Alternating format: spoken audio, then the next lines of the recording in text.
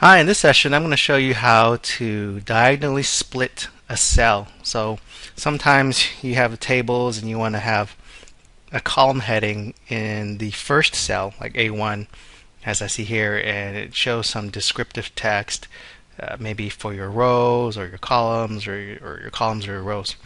And there's actually two ways that we can go about doing this, and I'll show you one where uh, we would just draw a border line and the other one where we would include a drawing object.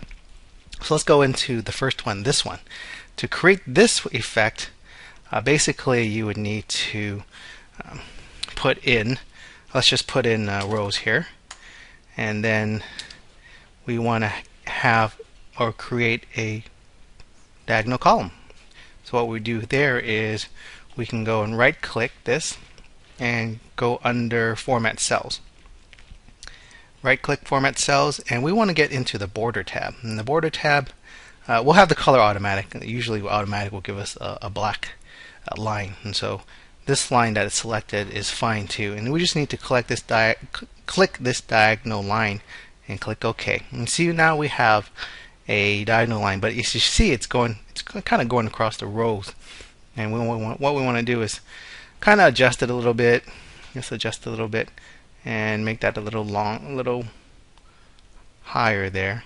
And what we also want to do and is whoops go into the rows and see how this is selected at for bottom align we want to make that top align so that brings that up there. Now we want to get the other text over here on the lower right hand corner what we need to do is just kind of go ahead and press the alt key and enter and we'll type in columns.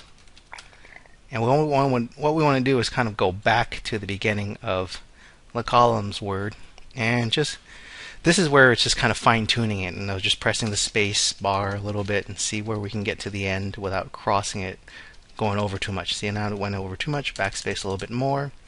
Go ahead and press enter and there we have it our rows and columns now it's separated by a diagonal line the other way we can do it, as I've shown here, is if you wanted to add some flair and color to it, is inserting an object. And basically, what this entails is we'd actually only have uh, one text in the cell. So, same here, we'll just type rows. And let's go ahead and just give it some some height right now. Let's see, let's just give it, we'll make it about uh, 60 pixels.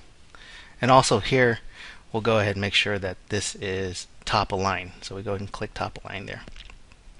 Now what we need to do is insert a right triangle object. So we go into the insert tab here in the ribbon and go under illustration illustration shapes and select our our right triangle shape. Now there's some descriptive text that should come up. Yep, right triangle. And what we want to do is we want to draw that right triangle. So what it's going to do is going to draw it not the way we want it, but what we're going to do is flip it later on. So to draw it and have it lock into the cell constraints, the, the, the height and length of the cell, we need to press the Alt key while we draw this. So press the Alt key and kind of bring the crosshairs there a little bit near at the corner and without it becoming bold. And then click and hold and just draw that shape and see how when you press the Alt key, it basically locks it into the constraints of the cell. Release. And what we want to do is we want to flip this now. We don't want this a, as a right triangle. We want it kind of as a left triangle. So what we're going to do here, when this is selected, you see now it's got a little um, green circle. It lets you uh, orient it, um, turn it around and stuff. Well, let me go and press Control uh, Z to to undo that change there, that rotation. Once it's selected, you see that now the object is selected. The format tab comes up with the, the well the drawing tools and the format subtab comes up in the ribbon and what we want to do is we want to rotate it. So we want to rotate it and you flip it horizontal. We flip it horizontal.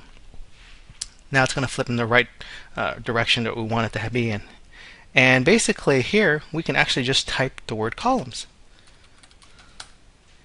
and you can see here that it doesn't really fit all the way. You can, just press enter.